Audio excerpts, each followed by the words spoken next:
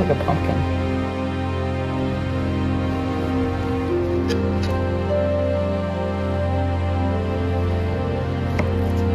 Who wants to try it? okay, I